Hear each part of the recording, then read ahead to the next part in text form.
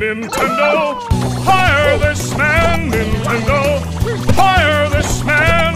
He's using Unreal Engine in any way.